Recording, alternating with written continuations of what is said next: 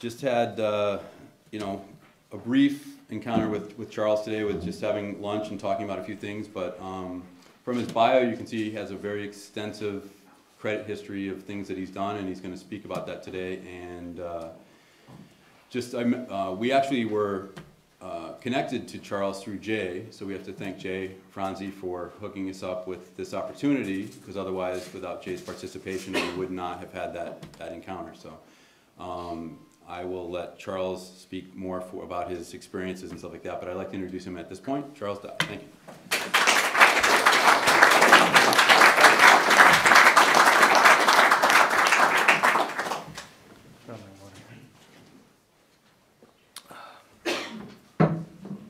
Hi. I'm not going to use the mic very much. Probably going to walk around. Anyway, um, my name's Charles Dye, and um, I'm a recording engineer, mixing engineer, uh, who been doing this for about almost 20 years. And um, just gonna, I want to tell you, I want to talk about three basic things today. I'm going to talk to you a little bit about my uh, path uh, of how I uh, started out and got to where I am, and uh, it's fairly traditional path, um, uh, you know, that uh, I'll sort of walk you through. The, the ladder of, uh, of, of, of how you make your way through engineering uh, and, and, and, and climb up it and so forth. Uh, then I want to talk about uh, briefly, uh, or to, uh, for a portion uh, of my conversation with you, I want to talk about the music industry and where it is today. And then I want to talk at the end a little bit about uh, where we might be after uh, we get through where we are right now with the music industry. Um, and I just noticed my belt came undone. I'm going to explain that to all of you unnecessarily. Okay. Um, okay. Great start. We got, we got to move this lamp down because I'm going to be lifting my glass over the wire every time. Okay. So I went to school, like many of you probably have or did, uh, and studied engineering. I got an internship from my school. Uh, my school was in Ohio. My internship was in Miami at Criteria Studios, now called Hit Factory. And um, I kicked butt on my internship, knowing that I had an opportunity to hopefully impress them that I, I would be a good person to hire. Um, um, I stayed in touch with them after I completed my internship. Uh, I apparently succeeded in impressing them because three months later an opening came up and they hired me. Um, so now I'm low man on the totem pole at a five, six room facility. Uh, fortunately for me, world class, but that was my goal when I when I asked the internship coordinator what my studio choices were. Um, she said there's a studio in Cleveland, you could go there. And or we've got a studio in some other places that I didn't know, and then she mentioned Miami, and I had relatives there, so I took the one in Miami. Actually, somebody else went to the studio in Cleveland and ended up being Trent Reznor's engineer for about 20 years, so I missed out on that opportunity. Oops. He's very successful. His name is Sean Beavan. Um, nonetheless, uh, um, I went to Miami. So I'm in this six-room facility. Like I said, it's world class. So I'm, I'm, I've got the opportunity to work with a lot of really talented engineers and really talented producers and watch how they work. And of course, talented musicians and, and, and talented and successful artists. So I, I'm, I'm, you know, working my way through moving from tape copies to getting my first shot at uh, assisting on a sessions. And uh, that opportunity came up. And I just continued to work my way through assi uh, assisting un until, uh, you know, I'm working on the better sessions. And, uh, and then eventually getting to do some engineering here or there. Following my being an assistant engineer at Criteria, I went to Crescent Moon Studios, which is a studio owned by Gloria and Emilio Estefan um, in Miami. And uh, I had, at the time of working at Criteria, I had asked most of the other assistants and engineers, most of the assistants, who's the best engineer in town? And they uniformly told me, all of them, Eric Schilling. Eric Schilling, a phenomenally talented engineer. Uh, and I felt like uh, working together with him would be something I want to do so that I can learn from him, since everybody said he's the best engineer in town. So he was Gloria and Emilio's engineer, and they had recently built a studio. Uh, and I had heard that uh, they had two rooms and that they might be in need of a new assistant. Uh, but I felt that since they had two rooms and they had one Eric, that there was the opportunity for engineering in that second room. And uh, if I played my card right, I could, I could get some engineering work and, and start working on those records as an engineer.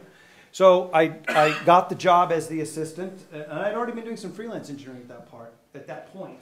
But I, I realized that I, if I take a step back in my career and become an assistant all over again, that there's an opportunity to work on some good records here. So I, I took the opportunity and uh, I uh, worked there and was an assistant for a while and was quickly given the engineering chair by Eric just to fill in here or there. And then eventually more and more trust was built up. And of course, I'm assisting Eric as he's mixing, so I'm learning a lot from that. And, and I had, I've worked with a lot of great artists. I worked with a lot of great artists there at their studio and at the, at the Criteria before that. Um, but I really learned a lot from working with talented producers and uh, uh, engineers. I've, I've, had the opportunity to work with Tom Dowd uh, and uh, Phil Ramone and, and, and wor working with these people and sitting in the control room and, and just watching them and, and, and, and observing how they interact and the things that they do is just, it, it's always so enlightening. And so I, I, had this opportunity to basically be Eric's assistant as he was mixing records for a number of years. And th that opportunity, even though I was engineering, I was often assisting him on mixing. That opportunity is really where I learned to, to train my ears as a mixer.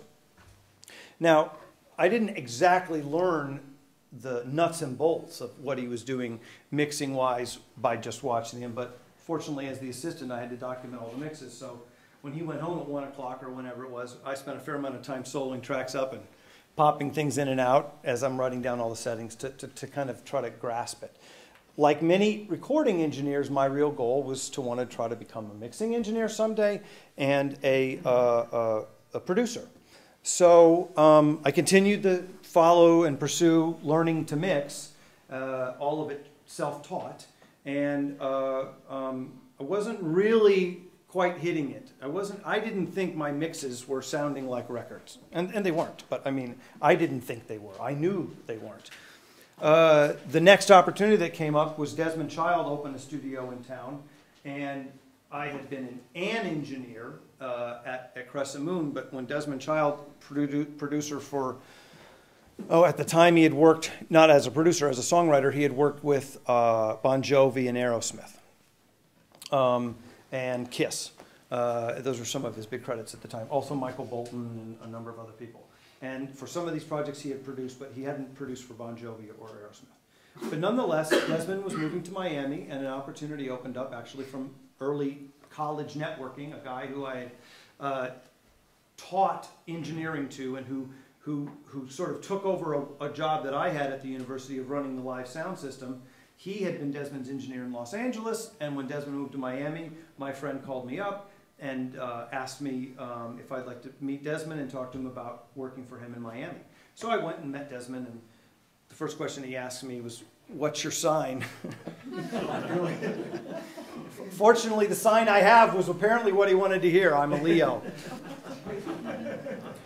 because apparently I got the job. So, so I'm, I'm now working for Desmond, and he's hired me to be his chief engineer and studio manager. Um, so it's a step up, uh, and uh, uh, we're working on a number of cool records. Uh, some of them up and coming artists, and uh, some of them more established. Um, but the thing that had happened for me originally was when I got started in all of this, I was working on analog tape, 24 track. And digital machines, 32 track and 24 and 48, were, were coming in, but, but really what everybody was using at that time were analog tape machines. When I went to Crescent Moon, so in other words, Criteria was, was primarily analog. They had one or two digital. Actually, they had one. Uh, um, but when I went over to Crescent Moon, they had both Sonic Solutions, or originally they just had a Synclavier and a Post Pro. And then Eric was looking to get a Sonic Solutions system. So together with Eric and another engineer, the three of us partnered, and we, we got uh, the Sonic Solutions system. And so that, my experience with the Post Pro and with the Sonic Solutions were my introduction to uh, DAWs. When I went over to Desmond's studio, um, Desmond had Pro Tools. Now, to this day, I don't actually know what possessed Desmond to base his studio off of Pro Tools. And I- by possess, I mean, it was really a cutting edge thing for him to do. He based his studio off of Pro Tools. I don't know where he got the idea. I never asked him. What year would that been? That's 95. I mean, that's like so ahead of the curve.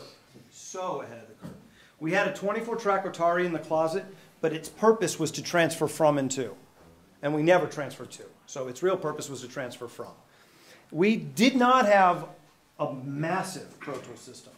We didn't actually have, and it wasn't designed to do anything more than vocal comp. That was Desmond's vision. His vision was he could do the most amazing vocal comps in the world on Pro Tools. He had, he had seen somebody using it, and Desmond, Desmond is and was at the time, but he is today still, the most amazing vocal producer I've ever worked with in my entire life. The man visualized the finished vocal as he's writing the lyrics months before. I mean, he hears the finished vocal, and then he produces it out of the singer's mouth. And if you ask any singer that he's worked with, Steven Tyler or, or Jon Bon Jovi or whoever, uh, I've watched Desmond coach a vocal from Steven where, where Steven's at the mic and Desmond is standing right there and he's almost conducting him like an orchestra. But that's not the point, and he doesn't always do that. But my, my point is, I've also watched him produce in the more traditional way that you would expect, which is dis- explaining to the vocalist what they'd like to, to do, or trying to draw the vocalist to the emotions that they need, et cetera, et cetera. Amazing producer, uh, and an amazing vocal producer. So he must have seen somebody using Pro Tools and realized, since what Desmond was doing prior to that was he was into comping vocals, totally into comping. What you did prior to a DAW and piece pacing it together was you would uh, switch back and forth on a console and potentially print it to a third track between two tracks. The guys that were really into vocal comping had a little box with a fader, very similar to a DJ mixer, and, and multiple inputs on the box. And they would come off the tape machine with three or four or five tracks. And between the two, between the, I think it had five buttons, I don't recall, he showed it to me once. You could choose the A button and the B button. And so now you've got the, the first line, and then you could do a crossfade to the next track, and then, and now you're printing this comped vocal. Can't move anything in time, of course, but you are, you are creating a vocal performance that couldn't have been created any other way. And you're creating a vocal performance that couldn't have been created with punching or with, with switches. You're creating it with the, with the crossfades that, that allowed you more flexibility. So Desmond saw all of that possibility and more in, a, in Pro Tools. So that was his vision. But when I showed up, I said, I think we could do a lot more. I mean, just like everybody in this room that's, that, that's pursuing engineering, uh, we're problem solvers for the most part. We see patterns and we see trends, and we, we see a pattern forming in front of us, and we figure it out quickly, and we solve problems and so forth. So I, I've been, I've seen these types of patterns and, and shifts and trends. And one of the first times I, I saw something that was quite clear to me as far as a trend was the, the, the, the project studio move. I'm working in a million dollar room and we're using, you know, $3,000 worth of equipment every day. We're using a mic pre, a microphone, and one track on a tape machine with one musician. And I went, but this is a million dollar room, and we're not using a million dollars worth of equipment.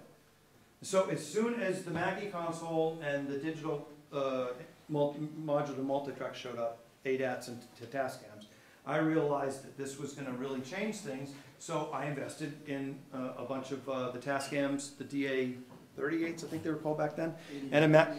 Were they 88s? Oh, 38 came later. Right. So um, I got three of those together with uh, two partners and uh, a Mackie console, and we were able to do record quality work in a project studio. I mean, it's still working at, at Crescent Moon Studios at the time, but we were able to do stuff that we would then take into Crescent Moon and, uh, and turn into records. So we were essentially doing the song demos, but song demos that sounded like records. So I'd already been doing Project Studio work uh, for two years or so when I got to Desmond's. Desmond's studio was also a Project Studio. It was converted two-car garage. Um, and he had the Pro Tool system where he was just intentionally, or intending to just do the vocal comps. And basically, his vision was people would, artists would come in with the multi-track, we transfer over what vocals they had and maybe a mix of the music into Pro Tools. He would then produce an amazing vocal, and we would print it back on the analog tape, and then they would go out with that, and you know, go back to the studios and finish the rest of the record. But I've been doing the the, the Project Studio thing now with 24 tracks of, of digital tape for two plus years, and I said, we are close to being able to do that here. We didn't have the track capability at the time, but I pushed, sorry about that, I pushed Desmond uh, to upgrade the Pro Tools so that we would have a 48 track capability, and we did at, within, within 12 months of me coming there, I think sooner than that. So we did a record in late 95, 96 that was all Pro Tools recorded. We recorded the basic drums, uh, drum tracks at Criteria because we didn't have uh, a drum room, but every other track was recorded inside of Pro Tools. And then it went to mix uh, also. Now I was a recording engineer on this, and you know, always shooting for the mixer slot. Still, still trying to get there someday. Um, but uh, but I wasn't getting the mixing gigs. Desmond was going up to New York usually to have somebody else mix, or Nashville. Usual suspects. Uh, Dave, what's the guy's name? With three distressors. Dave Derr. Who? Dave Derr. No, no, he's the guy that makes the distressors. The guy that used the three distressors in the van splitter in, in New York, and he just mixed some of the half of Coldplay's record. Anyway, great, great mixer. Uh, and so he mixed uh, this record that we recorded all on Pro Tools. And, uh, and then he was off, De- Desmond was often going to Nashville and having Chuck, Ainlay, of course, uh, mix some stuff. So, um, but I'm working on these records as a recording engineer, and, and uh, I'm trying on my demo mixes to learn to, to, to, you know, to make my mixes compete. But they're not, at least not enough for Desmond to use me. Uh, but what I am realizing though is the capability of what this system can do. Because when we started that record, the artist's name was Billie Myers. She was an English artist. She was on uh, Epic Records. Uh, name is Billie. She's a girl. Uh, the, the, the biggest hit off the record was Kiss the Rain. Not massive, but you may have heard of it. So this is like 96 when the record came out. So when we started that record, it was my goal to attempt to record the entire record on Pro Tools. Didn't know if we could, but I thought we could try to pull off not using tape. Just thought we could. I thought it was possible. We did, but I didn't know it was going to be possible until we got to the end. And once we did, that kind of opened the doors up to me seeing the capabilities and the possibilities. So I started to realize we had a, lot of, we could do a lot more in, in here than, than what I may have initially thought. I, I did not initially start mixing inside of it. In other words, I was still mixing on an analog console. And, and, and I treated it primarily as a tape machine. So when the next project came in, uh, I started to do some of the demo mixes on that project, uh, all inside the box, just demo mixes. So, you know, I wasn't, I wasn't trying to break new ground. I was just trying to see what it was gonna sound like. And the mixes were coming out okay. It, it was a little bit of a, a hurdle, and there were some problems. It sounded really clean and sterile and boring. Didn't have any character or personality. Sounded like sounded hyper digital, like like tiki tiki. I call it. You know, it's like no chuka chuka. It's all tiki tiki. So um, Lots of high end. lots of high end and no warmth or saturation. That was what I was lacking because I started out on analog. I, I only listened to records recorded on analog as a kid, so my ears are wanting to hear analog sounds. So, um, but I'm trying to mix on the system, and I'm starting to use more plugins. And this is not a plugin talk, but uh, or a Pro Tools talk. Uh, we just happen to be talking about for the moment. Um, but I, I'm realizing that my limitation is that there's really a missing element here. And I'm talking to David Frangioni, who some of you might know. He had a company here in Boston called Audio One for many years. He was uh, uh, Aerosmith, and still is, I'm, I'm, I'm sure, uh, main guy for uh, a lot of, uh, um, uh, of their studios. He built a lot of their studios. And he now is in, in Miami. And David uh, was one of the people that helped build Desmond's studio. He was, uh, we got all of our Pro Tools upgrades through him. And um, David was sort of my go-to guy for asking questions about Pro Tools, kind of like a, a, somebody who had more experience than me on Pro Tools at the time that I would go to and ask him questions. And he told me about some plugins that I didn't know about from a company in Spain called DUY that emulated tape saturation and tube saturation. The tube saturation plugin is called Valve. That's what they call tubes in Europe. And the other one is called tape. Um, and uh, Waves came out with some new compression and EQ plugins at the time, Renaissance EQ and Renaissance Compressor. These days, Renaissance Compressor is fairly well respected for not sucking. It's a pretty darn good compressor. but back then, nobody was using it, but I was pretty impressed by what this plugin could do as a plugin. It's a pretty cool compressor. Very, very flexible. It's kind of the distressor before the distressor existed plugin. It, it emulated opto and electro, and it had a lot of cool stuff. Warm, clean, all that good stuff. Not quite like the uh, distressor, but anyway, that idea. And um, so I found that using valve and tape and Renaissance EQ and Renaissance compressor, I could get kind of analog sounding mixes. Kind of. Not bad. I was, I was starting to feel pretty good about at least the sonics of the stuff. At the same time, though, it is eating DSP up. Okay, this is like 96, 97. So there's, I, I'm getting about a third to a half of the way through the mix, and now I have to commit my drum sounds, and I have to commit my bass sound, and I have to commit my guitar sounds, and then continue the mix. And to get to that point in your mix, and then take, I don't know, a half hour to 45 minutes, right as you're starting to groove and cook on the mix, to just do this really tedious process of printing, it just, it, it really destroyed the mixing process, made it very unfluid, and I saw that as a major barrier, the lack of DSP power. And we had this thing maxed out.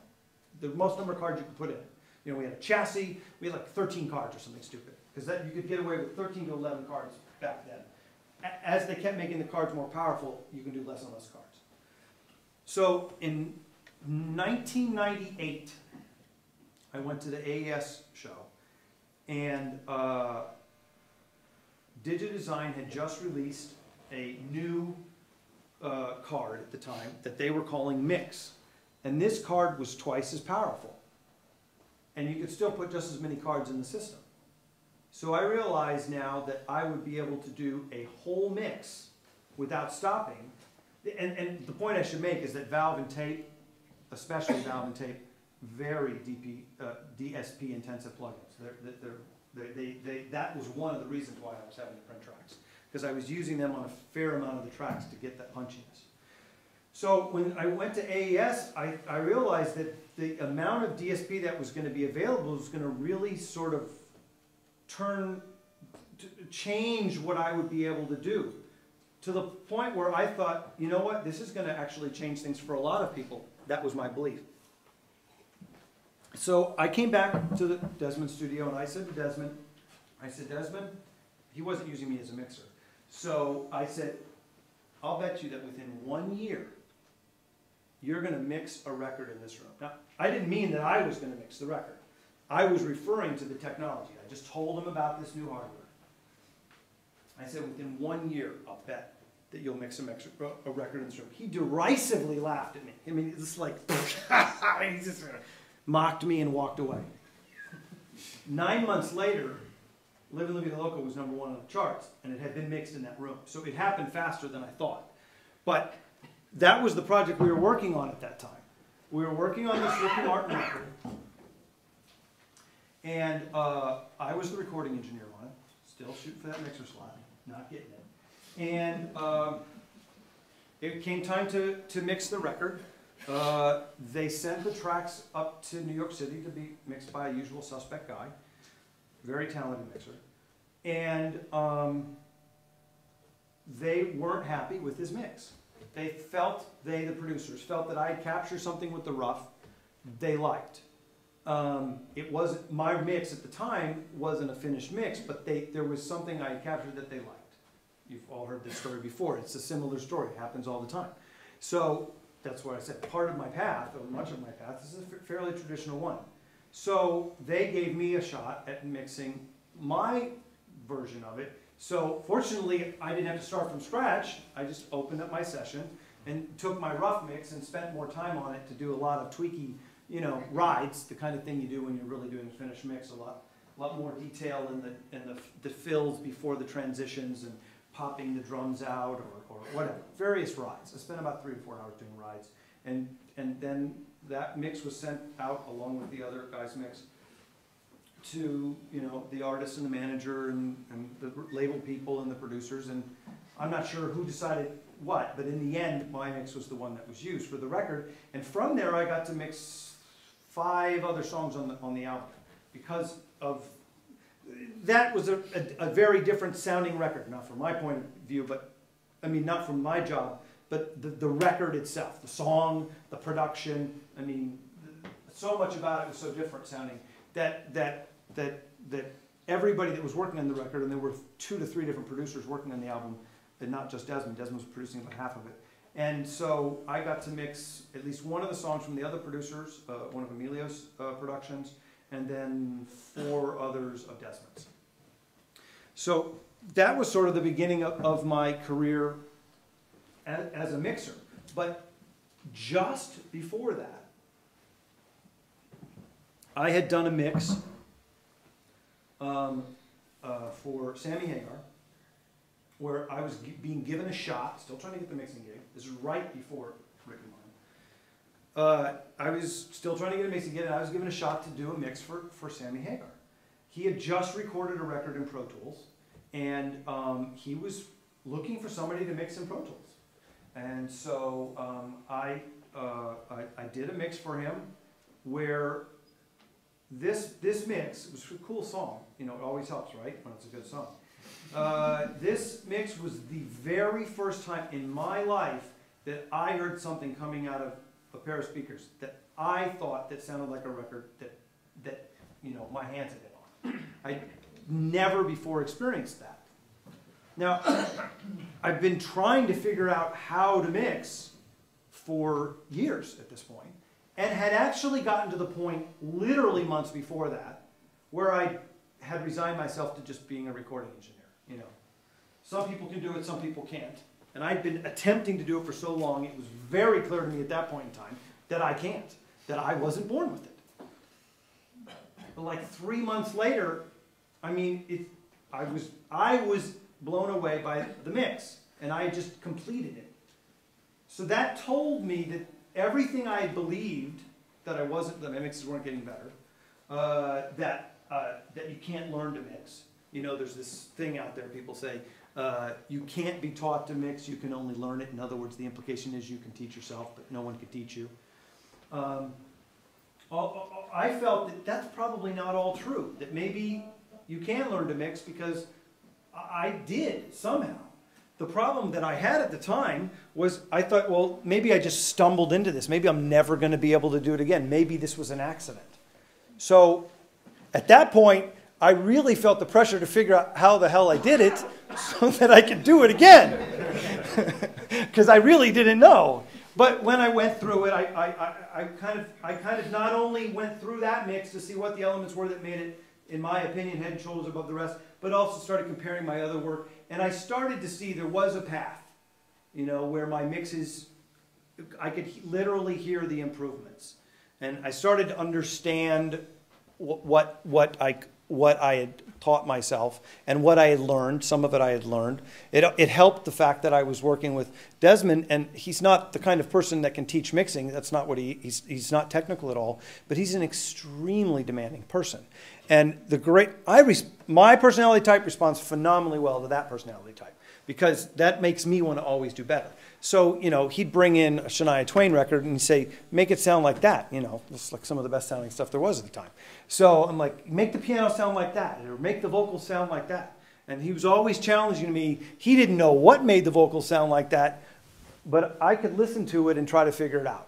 So, or make the piano sound like that. So uh, I would do it, and when I'd get to the point where he'd be satisfied, I'd know, all right, I'm doing something right here.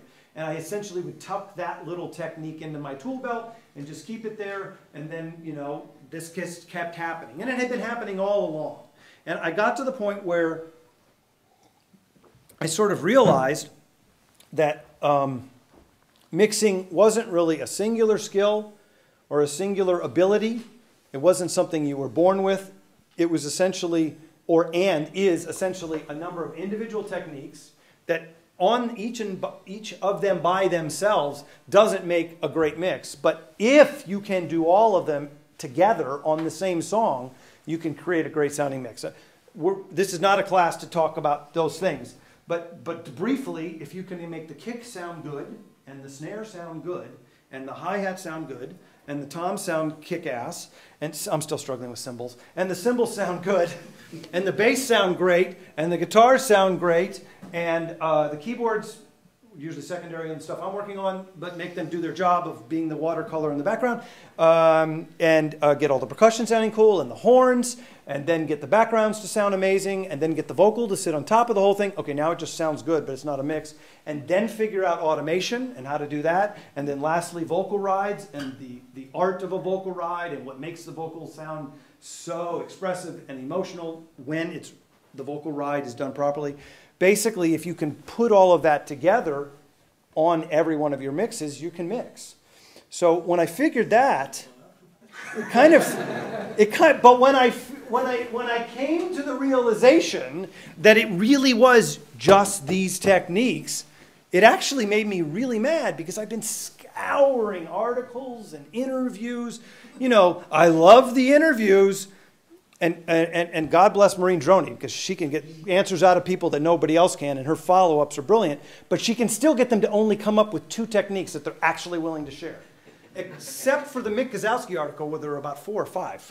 That was a great one. That was a great. interview. Read the Mick Guzauski interview. Really good. really good interview by Maureen Droney, Mix Masters, Berklee Books. Uh, um, so um, I felt like, wow, I really wish somebody would have taught me this. I wish somebody would have sat me down and said, you can learn this, and here are the techniques that you need to learn. So, um, kind of to take a jump off for a moment of explaining my, my career as, as an engineer and a mixer, I kind of got the bug to want to help people learn what I learned. So I'm now got my own studio with a production partner, and we're uh, you know busy, and we've got a lot of work happening, and uh, got interns, and got one talented intern that comes in from a school who really seems to have promise. So I'm going to see if I can teach this kid a lot of the things I know. Basically, try to try to do a brain dump on him because he's really smart, and even try to teach him mixing. And it kind of, I, I mean, this was my very first time attempting to teach mixing, but I kind of succeeded at it. It was kind of a test. I mean, his rough mixes were pretty good, and he was only out of school a few months, and he didn't walk in with these abilities. So that kind of inspired me to try to find a way to put all this down on paper and communicate it to others. And right around that same time, DigiDesign asked me to write a column for them for something they had coming up in the future that at the time didn't exist, but came into existence at the same time as my column debuted that they called DigiZine. Today it's a quarterly and it's on paper, but back then it was an e-zine and it was monthly. So uh, design asked me to, to, to write a column, uh, and it was my goal and hope with this column that I could teach mixing. And I didn't set out, well, I'll, I did out, set out to do that. I didn't state it in the first column because at the time it was considered impossible to teach. So why invite a bunch of people saying, you know, you can't teach that? I, I won't. I'll just bring them in, build the trust, and it'll become clear into month six that we're learning to mix, and by month 12, maybe they'll have learned to mix. And, and it was really successful. I mean, it was a free column, but it was really successful. I get emails from people who've just, it's still on the Digi website, who've just discovered it last week, and, you know, they say, I, I sat up for three days reading every one of those. Some of them really long, 3,000 words, you know, 4,000 words, really long articles. But, uh, you know, I sat up for three days reading all your articles, or, you know, I, I've read your articles a million times. I, I read them right before every mix and stuff like that. Really complimentary, really appreciative of the fact that I put that down. So, as far as the next step with education, I, I, I, a guy who I had met uh, teaching master classes for DigiDesign uh, at the DigiWorld events at one of these uh, uh, at DigiWorlds. Um, he uh, had a video company and was interested in interviewing me for a video, just like for like a four minute portion of a video that he was going to be doing.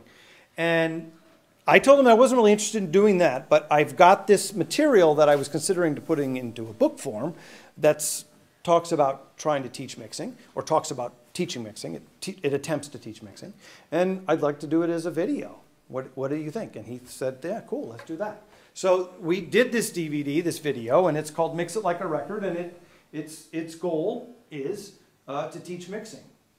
I've kind of evolved my, my, my, my mixing teaching since then, and I, I've come up with some other ways to, to distill the techniques. At the time, my thinking was, as I told you, teach each one of the techniques. I've, I've now, and to use actual examples. What to me always seemed to be mix, missing in my reading about attempting to learn mixing was we were always talking about a phantom kick drum, so I couldn't hear it, and we were talking about vague settings, vague compression settings, because it's a phantom kick drum. So since I can't hear the kick drum that the person is talking to me about, that they can hear, they have to assume a vague general kick drum, and then since they know that I can't hear the kick drum, they're not going to be precise about the settings to use on the compressor or the EQ.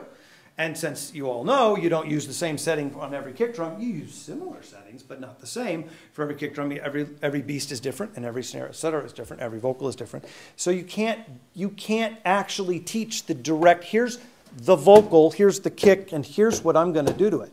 But with, with DAWs and the ability to give people the audio, and with plugins, being able to give people the settings, that's when I realized I can actually impart a lot more information than was previously possible. So with the column, with DigiDesign, uh, we actually made all the sessions available for download at the time. And then on the DVD, we did the exact same thing. So on the DVD, the idea was we went through every track and we showed, here's what we did on this track, blah, blah, blah. Not to bore you with the details, but we went through every track. And, and, and, I, and I realized there's a, a huge flaw in this, of course. It's super specific, that's its weakness, but it's, it's, it's, it's, it's, it's uh, it's, it's also its strength because at least I can convey information about how to deal with this one situation. And since then, I've come up with a number of, of ways to convey ideas and theories and approaches to mixing that are unspecific but still manage to accomplish all the same goals so that they can be applied to whatever you're doing. But I, guess really the point I'm trying to make is, is that, that um, I've gone from, uh, uh, um, you know, somebody who didn't know how to do any of this to somebody that really enjoys teaching it. And uh, uh I've gone from, you know, assistant engineer to engineer to, to mixer and doing some production. And uh, all of that, that whole path, that whole ladder that I've kind of walked you through is uh, and has been a great experience for me.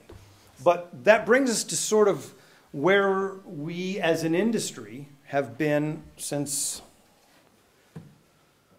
I mean, it was probably pretty obvious in 2006, but it obviously started much earlier, around 2001 and 2 and 3, uh, when things started to slow down. Now, we've got a couple of forces at play here. We've got the whole desktop audio thing happening. So that's taking work from bigger studios into the home studio. But a lot of people in this room are harnessing that anyway. So that's not the thing that's really impacting us for the most part.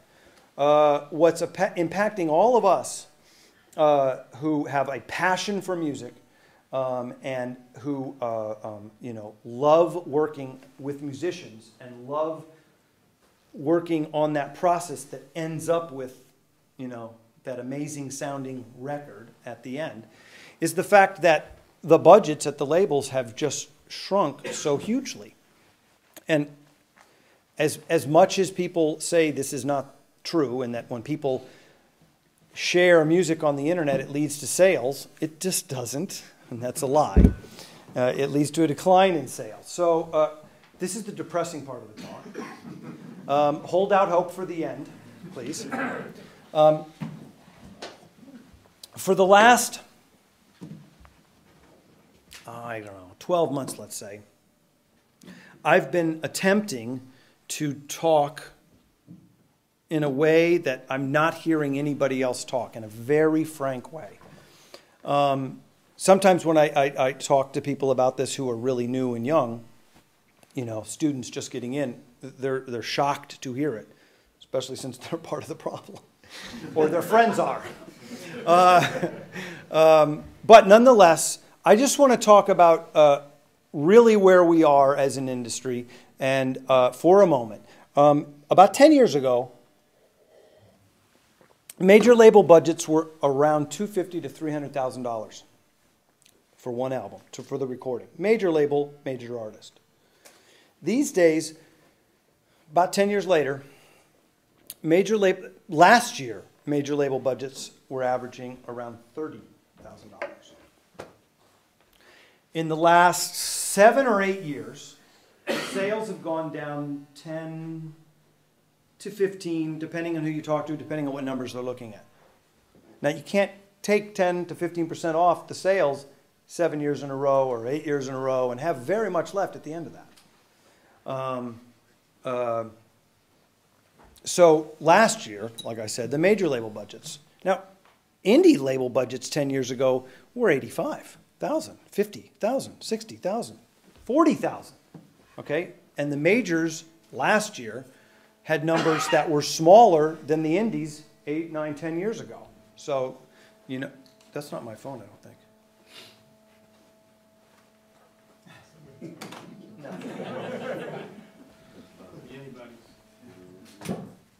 Um,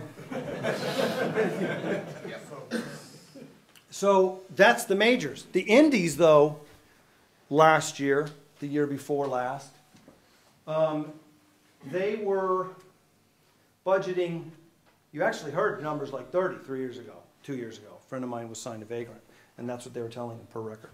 Um, but uh, I know that, that last year they were much closer to 10,000 per record. Um, we, this may be news to many of you, we are at a really shocking point right now. Does anybody in this room know what's happening at the indie labels at this point for record budgets? Pay for play. Bring the record in and record it. We're not going to give you a penny. Then we'll release it. Maybe we'll, maybe we'll release it. We've got a contract that says we don't have to. Um, maybe we'll spend some money on marketing. Maybe not. We've got a contract that says we don't have to. But what we won't do is give you any money to record the record. You pay for that entirely on your own. It's dramatic. Um, so I said that, that I talked about the ladder idea, that there's a ladder that I climbed up, a traditional ladder. Uh, it's, the latter has changed dramatically. I mean, it's, it was my view a few years ago, having nothing to do with piracy, that the project's desktop audio revolution had changed engineering forever from, in, in, in my opinion, and I'm curious what your, by the way, I meant to say this at the beginning, you're, you're, you're welcome and encouraged to ask questions and interrupt at any time and join in on this conversation. Um, that it's my view, having nothing to do with piracy, as I said, that in fact engineering with the desktop audio uh, movement really changed music engineering, changed from being a, a career path to for engineers and really became a skill set for musicians. That's my observation. Um, because you've got uh, triple scale guys in LA recording their own drums and guitars at their home studios, sending the tracks to other people. So it's that's, that's what it is. That's that's what it has become, and that's not necessarily a budget thing as much as it. I mean, it is. It was driven by budgets uh, because basically somebody who previously had uh, $1,000 to spend on uh, um, a, a, drum session because they could do the studio and everything, they now have 500. And uh, there's not much money left in that for the drummer, but the ingredient you must have is the drummer. So the drummer knows that if he just doesn't pay the, the cartage fee or doesn't have their cli his client uh, pay the cartage fee, drum kit stays at home, He's, he, he makes an investment in mics. He makes an investment in some DAW and, uh, and then records the drums and sends them back the tracks. the, the drummer knows that now the budget has enough room for him to get paid what he got paid five years ago. So that's the trend that's happened and is happening everywhere. That's not a surprise to any of us because that's, that's the technology that we're all using. So we know that. But what we may not know is, is, is how it actually seems to be filtering out into the industry. Um, so because of that, and because of piracy, uh, which we'll talk about in a little more detail in a minute, it, it, it's, it's, it's really my, my view that, that the ladder has just simply collapsed. I mean, there's just not a ladder to climb up anyway, not currently. A ladder, really, uh, not much of a ladder. So that, I mean, uh, uh these days, the pot of gold seems to have gone away at the end of the rainbow, and the entire concept of the music industry was built on the pot of gold because you had the guys at the bottom who were willing to work for spec so that they could get up to the level where they're making just a little bit of money and until they could keep impressing people so that they could climb up the ladder. And again, my view is the fact that we are not talking about this as an industry. You know, when we get together a network, you've got, uh, for the most part, a bunch of, to be the center of the room. You're not the center of attention, but as the engineer, you're the center of the, the technological center of the room. You must command everything. We, as a group of people, are generally fairly prideful because we've got the ability to command all the things in the room. So something got us there, which is our strong egos. Maybe we're not arrogant, but we have strong egos. Let's, let's call them hardy egos. So when we all get together in a room, we uh, really don't talk about how much we're not working talk about the cool projects we've been working on. But since we, not just engineers, but the music industry is completely, at all aspects, in denial of this, I, I tell people if we were any other industry, if we were coal miners or electricians or plumbers, we would have bailed 36 months ago. But we're not. We're in this because we love music and we have a passion for music. We want to make records. We want, or, or, or, or, or video games or, or post production. I mean, I'm now working a lot in post production. So, it, it, it, but we love, generally, we love audio, and many of us are also music lovers. And since I'm, I'm speaking from what I know, so I'm talking about the music industry. But it's pretty clear to me that as a, as a larger industry, the music industry, though they are letting go of thousands of people every year at the labels, go into the, the record, the former record label offices in New York, excuse me, floor after floor of empty desks. And I was there 10 years ago. it was floor after floor of desks filled with assistants and interns and marketing people and promotions people. And now it's, it's scary. It's a ghost town. And I mean, I'm not sure how aware all of you are of this, but because so many of the projects that I was working on were generally uh, uh, um, on major labels, every December slash January, you would hear about how the, all of them let go of at least a thousand or so employees. And that was going on year after year in the last five or so years.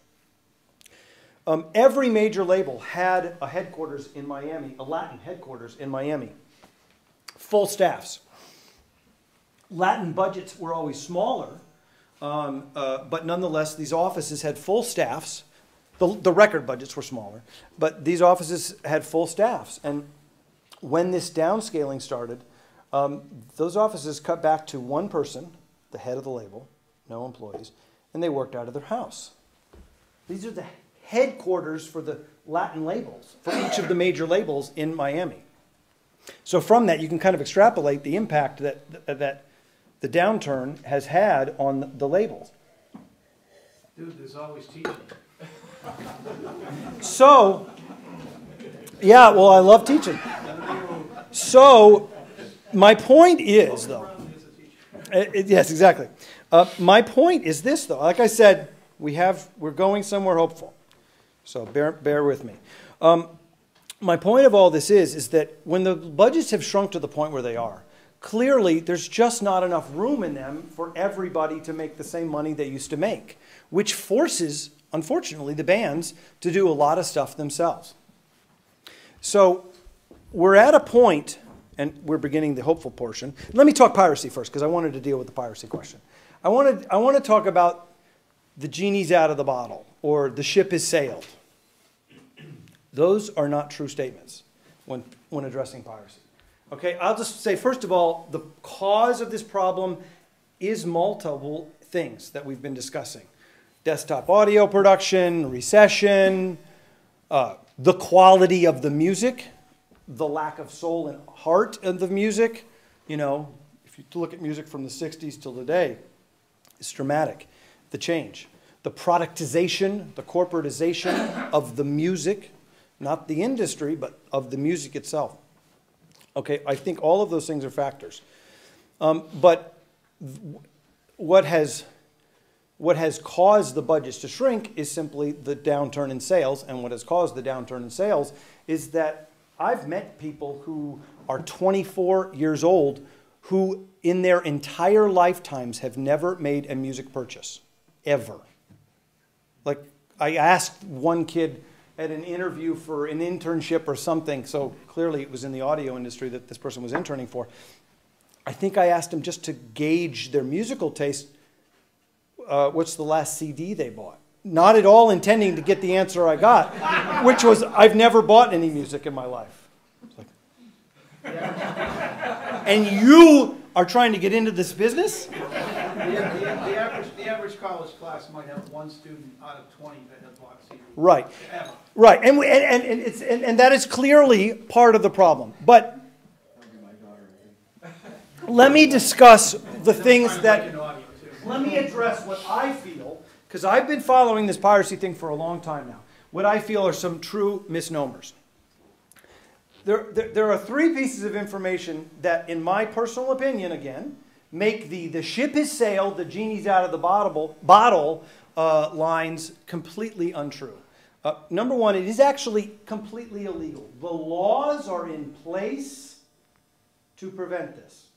The laws exist currently to prevent this. Okay. The technology exists.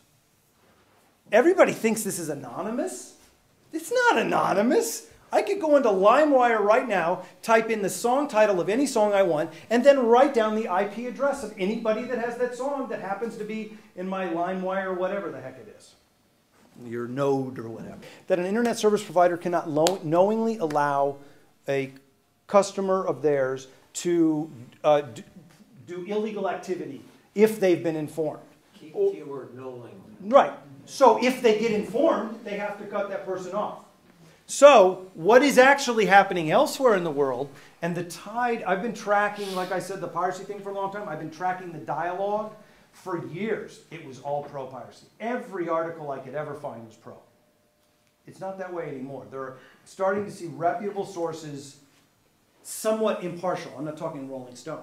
Somewhat impartial sources, people that aren't somehow invested in the success of the music industry, doing commentary on the subject that is not pro piracy or pro it doesn't hurt or pro whatever the heck. Well, it isn't part of that because of the digitization of other elements of society is mm-hmm. destroying jobs and other Yeah. elements. Yeah. of society. So Yeah. they're all starting to They're starting to see the pattern. Exactly, exactly. Are starting to get pirated heavily. and that's- Right, exactly.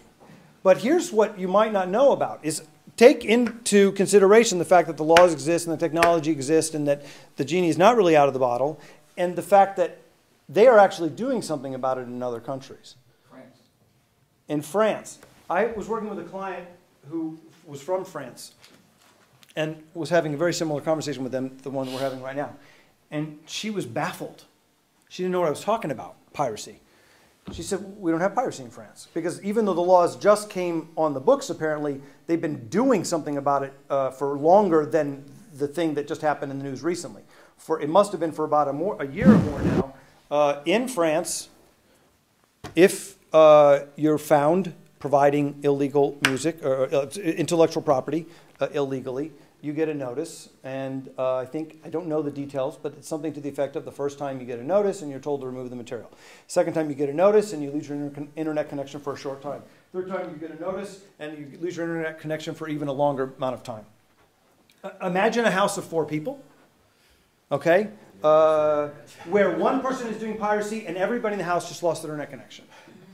Oh, and as, as part of the laws in France, That's not the only thing. You then get blacklisted. You can't get internet service from anybody else. You're on a list. You're not allowed to have internet. Okay, so what is essentially missing is just the will. Okay, so piracy is not, you know, we're not screwed as much as we might think we are. The will just seems to be not in place. Yes, to address it. One of the issues that I see um, is this sort of music industry versus the computer industry conspiracy. Uh, uh, The, uh, the issue here is the computer industry, and I love Apple, so don't get me wrong, I, I would love to paint the world rose. Well, let's not get into that. But This is the Moses Avalon thing, right? Apple, but I'm going to make an anti-Apple proposition. Yeah, yeah. Which is, They want if you are a manufacturer of iPods and similar sorts of Right. things, where you can sell high, high margin physical objects Exactly. that then need to be filled with vast arrays of Mhm. music. I mean, if you've got a three hundred dollar device that needs to put ten thousand dollars worth of material in it, Right. essentially you're saying people, we don't care how you fill this up, go ahead and fill it up, right? It's to the advantage of the, the computer industry Right. that people can go and pirate this stuff. And they Totally. dwarf us in terms of their clout because they're a much larger revenue generating industry.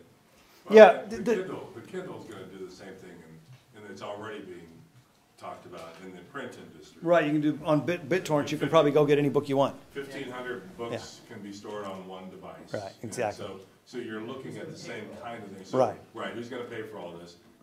And I don't, I, I don't agree with that, it's, a- it's pitting the computer industry against the music, music industry. We are in a revolution of how we're going to deal with Mm-hmm. this. Higher education, which I've been in, in for twenty-some years, in the computer side of this, is having a hard time really getting its head around all this. Mm-hmm. Because the expense of being able to track all this as an ISP. Right. That isn't, that, uh, EDUCAUSE just did a, a, a, a, some assessment of how to, how to track all this, Mm-hmm. how much it's gonna cost in higher education, and it was in the billions of dollars. And so, there is not just the, there is a, a lack of will. Sure. I like that, I like what France is doing, but the, the cost to be able to track all this, especially, and see what the music industry is doing, they're targeting, targeting higher educational institutions, Mm-hmm. because it's an easy target. They're not targeting Comcast, they're not targeting. Right. uh, Uh, they're attempting to, but, but the, the, the- they're being rebuffed so heavily. So I, I don't. In Congress, I mean, they're, the, the, the, the, the- the ISP's lobby is just kicking the RIAA's ass, you know? But doesn't it have a lot to do with the fact that it is so difficult for people on, in our part of the industry to convince a legislator that us losing capital is a bad thing? Don't they look at it as, well, your music, you aren't really important. We Uh, don't really it, it, care. it, it appears, it, it appears they do. It, it, it does. I- I, but, I, but as I've said, I feel These the are same tide is guys that turning. thought forty-four one was more, we like way too much to devote to audio. They can only hear out to eight K anyway. Right, right, right. It, it, it seems to me that the kind of, the compare, I haven't lived in France, but uh, from what you described, the comparison seems to be a social contract or literally the law re- uh, uh, relegating this to an administrative level. It's like if you get a parking ticket, you don't expect to go get your lawyer and, and really get your rights represented. Right. And- And the, the, the town of Boston or Cambridge, especially Cambridge. The town of Cambridge is, is not gonna mess with your lawyer Right, to nail your butt Right. that parking ticket. And in France, if you are, if you are, I- you're using this, you got this IP address and lots of music is flowing out of your IP address. Mm-hmm. Sure. You know it. Uh, you're not gonna be speaking to any lawyer and you're gonna be speaking to somebody who probably gets paid about the same amount as you do. And it's at an administrative level and it's like a parking ticket. Your, your ass is, is, is in trouble and that's just the way it is right. and you have to deal with it at that level. Whereas here, it seems it's still at the lawyer level. Yeah. Well, they've, they're moving away from the lawyer level, but I, I don't want to get too bogged down in the details as much as to say that my observation is, again, it's an observation, that we, the tide is beginning to turn in the sentiment on the commentary. That there are actually places in the world where the laws and the will are in place. It's my feeling that that will propagate out, I, you, you hear more and more people speaking out against it and, and, and, and giving valid arguments about it, presumably for the reasons that you pointed out, that more and more people are being impacted by it. Right, the movie No, no. industry and all. that. Exactly, yeah. So that's the, one of the reasons that the, that the, that the, that the commentary is changing. But the, the, the trend that I see, and what I call the hopeful part of all of this, the, the, the, the, the silver lining, is that another aspect, in my opinion, this is purely my opinion, that brought this about is that I can't imagine if the technology existed in the 60s that music fans would have done this in the 60s.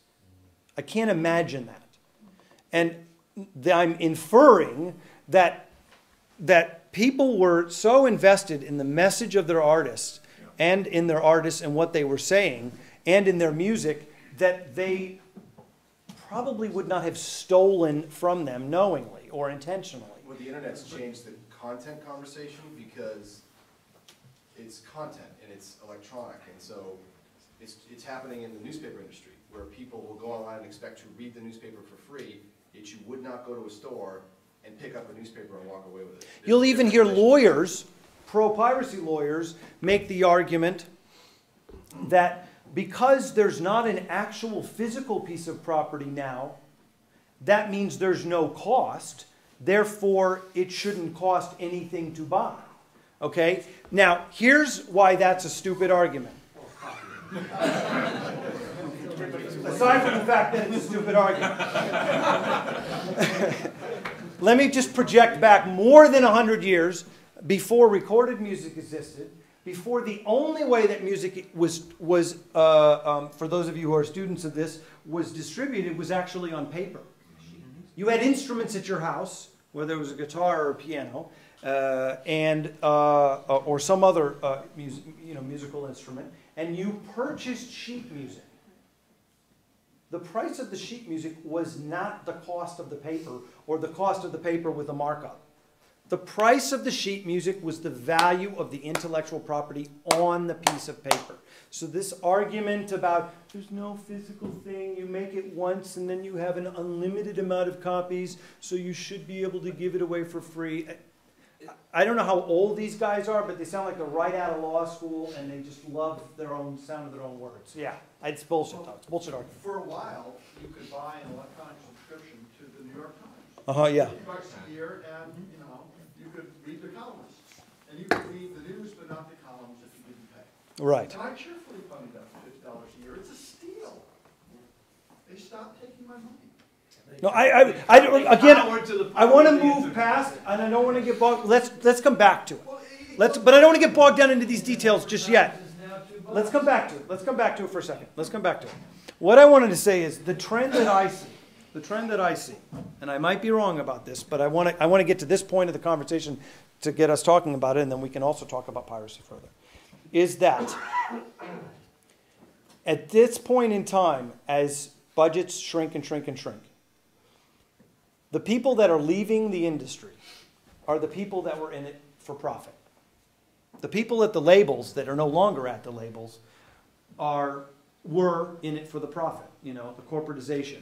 The, the, the inference I made with the 60s compared to today, music from the 60s, music to today. In the 60s, many people were in it for the music, and it was sort of before the corporatization. I can think it was, for the most part, Peter before the corporatization. is noted the one that started the, Peter Frampton Live is when everybody began to realize that they could make money. That's in this, from what I've read. Mm. Interesting. That seems to be the line of demarcation. And, and, and, and, and, just, but my point is before, before the major, before the major league, uh, before the major corporations became owners of the labels, because there was a time when they, when they weren't, and, and, and- and my point is, is that most of the people that were involved in the process on, on, behind a desk, or behind a mixing console, or be, behind a microphone, they were in it for sheer love. Uh, and didn't necessarily expect to get rich. Everybody had stars in their eyes, of course. Everybody saw a pot of gold at the end of the rainbow. Everybody hoped to get there, but there was another element that, that, that, that drove them as well. And, and it really seems, I don't know if Fall Out Boy is from Boston or not, but that's not my point. But it really seems that bands that are following that path today are just trying to find money. It appears to me when I listen to the music. Or any of the artists, pop, whatever, it just appears but I don't want to. I don't want to trash the music as much to say that I don't see that lasting forever. And the reason I don't, I see the silver lining to this cloud to be a renaissance in music, of, of, of real music. And I, see it driven by only one thing.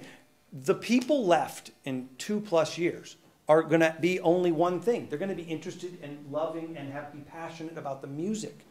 There's not going to be anybody willing to work at a record label unless they love music. This will force us to make music that is, I hope, greater, better, more soulful, more heartful, more real, more sincere. Um, I expect Hannah Montana. Yes. I expect, I expect, this is purely an opinion, but I expect that's what we're going to see in the next five years. I also expect, based on what I said already about piracy, that it will kind of coalesce with the monetization problem being solved. I'm an optimist, okay? I can't help it. Uh, it's obvious in, in, in my talking, although I'm very cynical about the music industry. But, um, and to turn me into a cynic, something had to kick my ass, so it was tough. But I became a cynic when it came to that one point.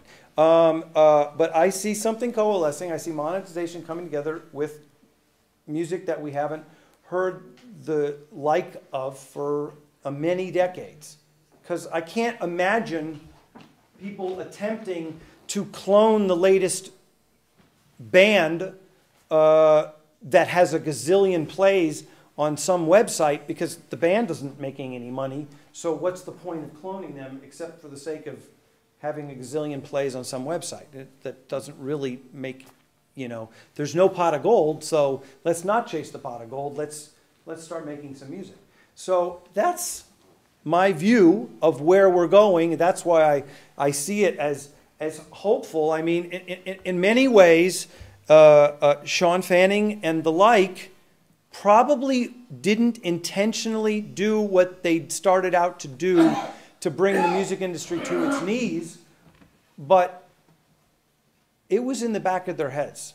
And they had been fed, I don't mean, and I don't mean that to say they were being malicious. What I mean is that something made them feel righteous in stealing the music. And it's my view that they, they meaning young kids, college students at the time, so we're going back 10, 10, 10 7, 8 years when this kind of got rolling uh, and really took off. Uh, they felt righteous in doing this because they had been screwed by the labels year after year of one cool song that they really liked. The label keeps the single out just long enough. The single on this, I don't know if you're familiar with this standard practice in the music industry, but back when they had singles in record stores, uh, um, was that the single was on the shelf just long enough to get it high enough on the charts to get enough people interested to go into the record store and buy the single, and they pulled the single, so they were forced to buy the album. Standard practice. Every artist you can think of. That's how it works. That's how re- album sales are driven. Because the label's money, you know, their, their economics didn't work on selling singles. They couldn't, they couldn't make a profit off of selling singles. They could make a profit off of selling albums um, as long as they put out 20 artists and one of them sold a gazillion copies because the other 19 weren't even going to turn a profit. But the point was that that, that built up a resentment. And as soon as the tools were, I feel, that built up a resentment. And as soon as the, the public, the, the, the music fans, were empowered to do something about it, they did. With a friggin' vengeance, they did. And I don't think, as I said, it was anybody's conscious, concerted intent to screw over the majors, but it was in that dialogue for the last, you know, you look on any of those websites, then it, it was there. It was that was a part of the dialogue. They hated the majors and they they really wanted to to screw them over. They didn't have any realization that they could do what they accomplished, which is eliminate them essentially. But uh, but really, uh, but um, but they but I- I think there is a silver lining to that, which is I think that a renaissance in music is about to happen. Yes. Charles, a lot of those people really, uh, you're almost giving them too much credit. Uh, they- They weren't out to get the label. No, that's what I mean. They You know, weren't. You know, we had some of those people come in and talk, and, and they were very, very naive. This is a technology that's evolving, and as part of that technology, and as students of that technology, of science, of, of computers, it was almost their nature to have to do what happened. Now, the record companies certainly have a lot of blame here, a lot of fault. Um, I don't think they drove people to do this as much as this what's happened, and the record companies did But not know were- how to respond. But they were trying to make a quick score. That- Some They of were trying to Some make, of the them were. Napster people were definitely trying to make. But a I, quick but no, let me, let me be very clear. I really don't think Shawn Fanning, et cetera, meant t- to, d- did, created the software and empowered people to do this with the intent of, a- at the end of the day, taking the labels out of the game. No, I know they didn't, and I'm sure they did. I've read a number of interviews with and about the story of Napster and, and Shawn and so forth. All I'm trying to say is that that on the websites I've done a lot of reading on, of the pro piracy websites, a part of their discourse is a, a, a deep seated hatred for the major labels. And, and, and, and, and the RIAA and the corporations, et cetera, part, maybe a small portion of their discourse. But that hatred almost has been um, developed since they've come up with. their- Oh, no. No, the, the hatred's been there for years. Uh, Yeah. Not to those. It's just an opinion, but- Whoever wanted to do to. to- Just an opinion, but that's my Put a opinion. Big notch filter in the middle of the, the music. Do you remember that? Of course. That, and Congress fortunately didn't adopt it, but they wanted to make that the law. Let me ask you a question. You said something a minute ago that got me thinking. You talked about. That's my intent. Right. Well, and, and. to Whether I'm wrong or shift- right. Sort of shift gears a little bit away from the piracy, but sort of going to the content a little bit. You mentioned that you, you didn't feel like that the, the fans of the sixties, even if the technology was available, would have done to the artists what, what is being done today. And so, if you look at the trends of even live music and the number of clubs that are available for, for artists to play in, they have radically shrunk Yeah. from where they were in the sixties, because, uh, going to your point, and I just want to get your sort of opinion on, on how this, the dynamic, the sixties and seventies, and forget about the eighties arena rock, you know, I'm not, I, I can't even think about that. Um, but the, the sixties and seventies of clubs and the message, there was a, there, there was something there out there just passionately singing their message. Right. Do you think that has also something to do with all of this whole dynamic of how the music all sounds the same and, I think and, so. you know, so, and there's no, there's no affinity toward any one artist? I think so too. And, and these college kids are still listening to Pink Floyd and Led Zeppelin.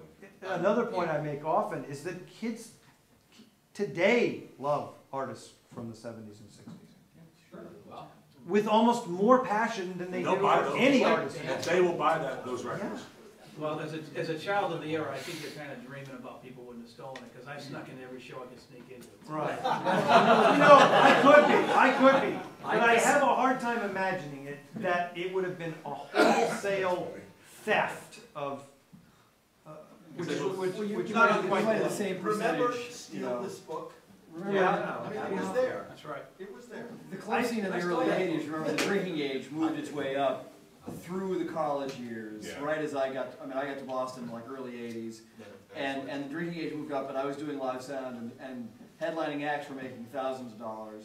And over the course of three or four years, they went down to making a couple hundred dollars. That's right, musicians got, the- got that end of the, of Right, the and shit it's end of the really stick twenty-five years The, ago. the, the, you know, the popularity of clubs dried up, live Right. sound and, and, you know, Yeah. clubs dried up because you couldn't drink anymore. The college kids in this town especially Right. you know, Jack's and the Channel and, and Club Three, all the clubs around that area were mobbed with college kids every Friday and Saturday night, and suddenly they couldn't drink, and so those clubs dried up. And that's a separate issue altogether. Sure. But I, that definitely drove, But you at know, the kind same of like, time, there was a change in philosophy regarding quality of performance.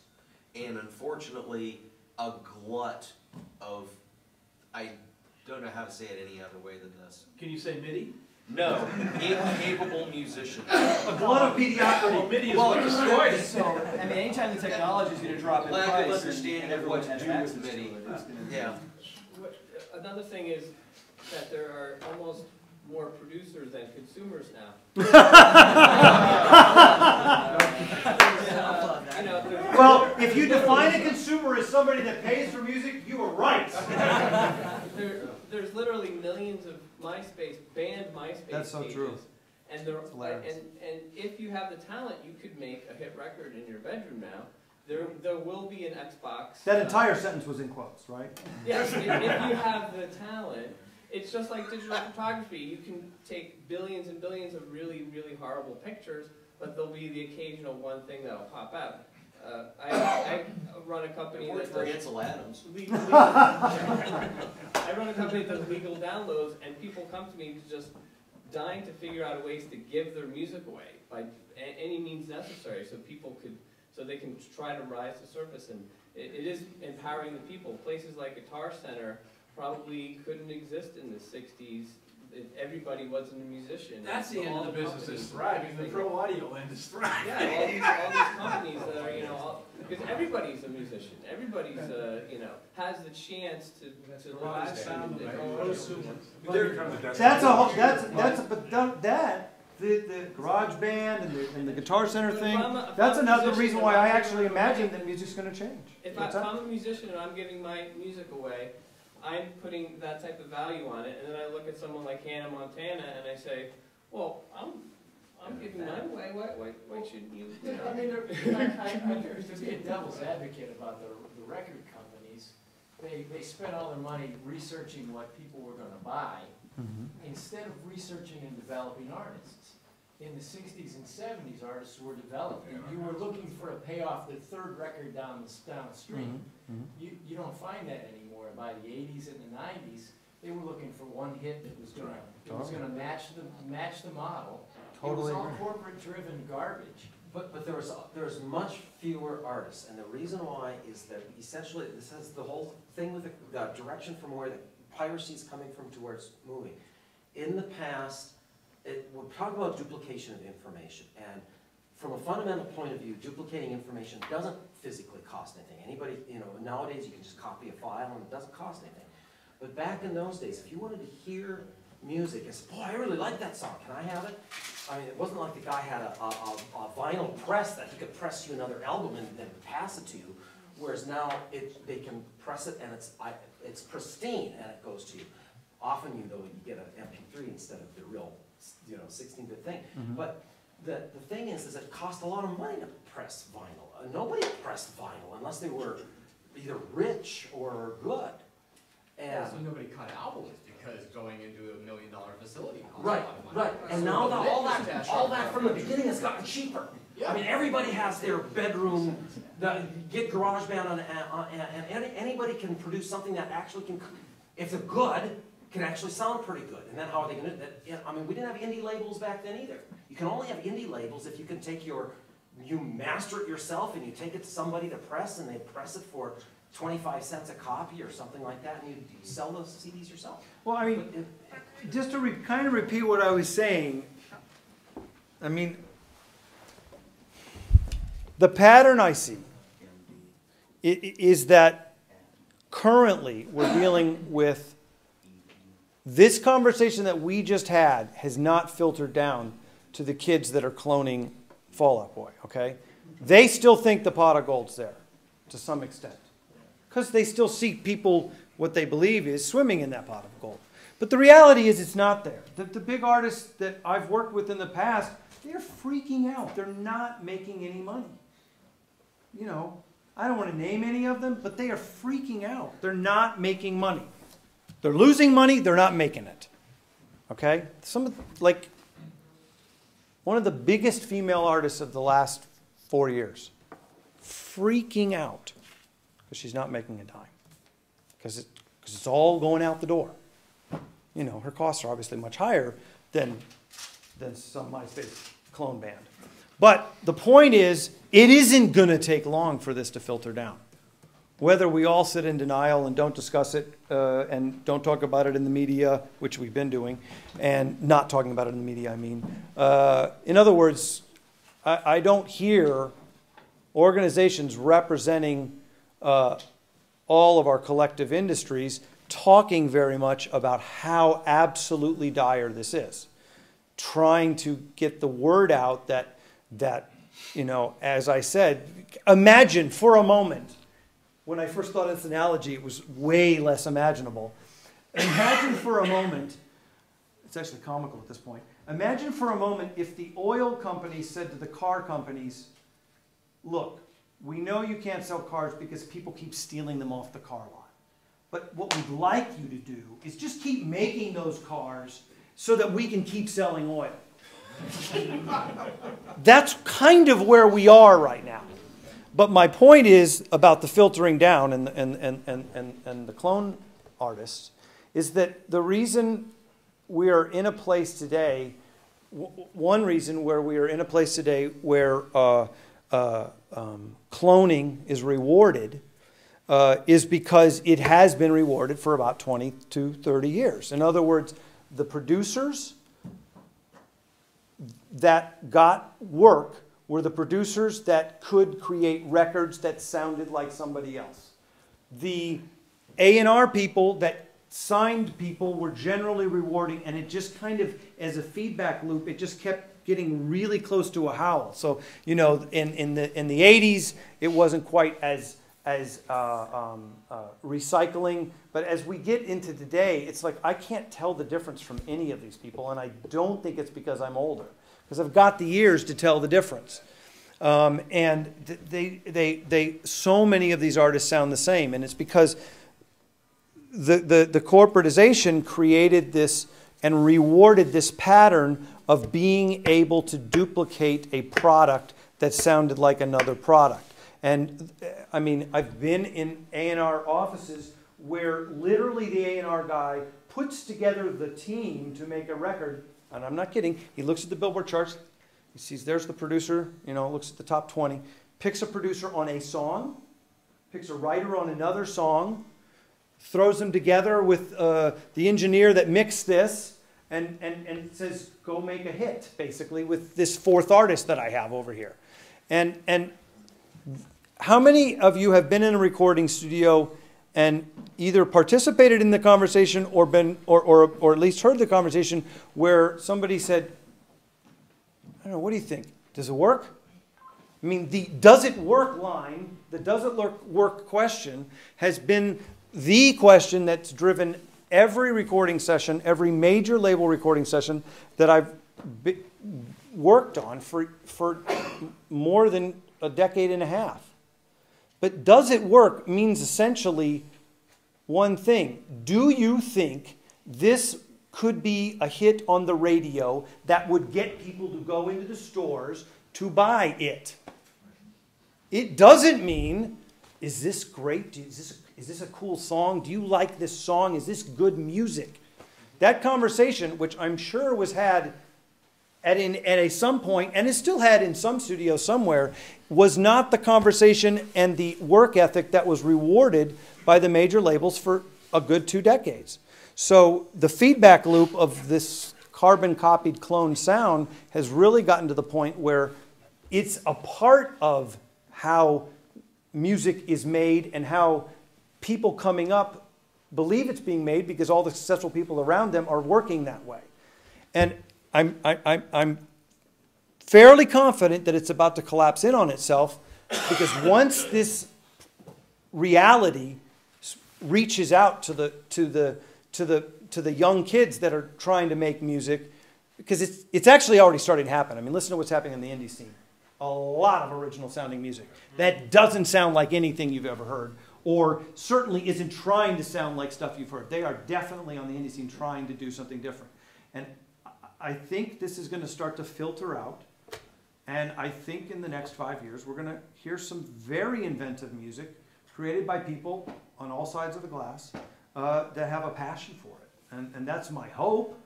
But not only is it my hope, I don't think the forces that are at play right now are going to allow much else to happen. Bad economies have always made the best music. Yeah. There's not going to be a reward for carbon copy music. There isn't a reward for it now. Where's it going to come from? But isn't the, there, there's just one thing that's missing, is that there still is no control over, at least in this country, and France, there, there's something in Amsterdam, but in this country, there's no instrument, there's no place for an independent artist to go. Like I work with Mike Kelsey, and he's an independent singer-songwriter, puts his own records out, and his stuff is getting cloned or it's getting sold on the internet. The only place that we've been able to stomp it out is in Amsterdam. We just call the guys up and say, hey, Right. such and such has got it, shut them off. It- Literally, that day, it's done. Well, look, I'm not But we don't an internet expert, but let me share with you something. Google's spiders find things on the internet within hours of them being posted. Anybody here familiar with Google Alerts? Oh, yeah. Okay, Google Alerts kick ass. It used to take Google Alerts days to alert me of something that got posted on the internet. It now takes a couple of hours. If Google can track all the content on the internet, if all I got to do is put in the name of a song on LimeWire and me, and with my moronic internet skills, can find out the IP address of everybody with it sitting on the hard drive. The book, uh, the the laws are essentially in the books that say that all the internet service providers have to do is be notified. And the thing that needs to happen, the last piece of the puzzle, is the will. And I haven't read the document yet, but uh, Obama's cybersecurity thing mentions the word, I did a search on the document, it's a pretty long document, uh, mentions the word intellectual property three or four times, and I've read those paragraphs. So I don't know if you're familiar with the cybersecurity thing, but Obama uh, has got a position in his, it's not his cabinet, but he's got a position that he's outlined essentially called the cybersecurity czar or department head or whatever. And all they have at this point is an outline an outline for the, the job and, and an outline for what they're going to do. So they're just getting started. But it, he had talked about this during the campaign, and he's now acting on it. And like I said, I've read the document, and the goal of the document is much more about protecting our, our, infra- our, our, our, our, our IT infrastructure, or protecting our grid, the, the electrical grid, from that big knock, that big domino effect thing that happened in the Midwest uh, not too long ago. I don't think it affected you guys, but Ohio and Indiana, and they all, you know, one switch apparently blew by accident, and it just took out. A, so it's their belief that that could very easily be created by terrorists, et cetera, those types of problems, and uh, you know, hits on the CIA computers and all that. So that's that's a large part of what that cybersecurity document is about. But it does mention intellectual property, like I said four times, and I've read those portions of it, and it appears one of the things they're attempting to address there seems to be this problem. Bottom line, in my opinion, and in my research, the genie is not out of the bottle. The ship has not sailed. The technology exists. Look, I said 10 years ago, and I, and I believe it still to this day, the problem was created by technology. The problem can be resolved by technology. The, the site, you shut them down and they just move over to another website. If Google can find new content within hours of being posted on the internet, a properly programmed spider or whatever, IP spider, can find the new website within hours.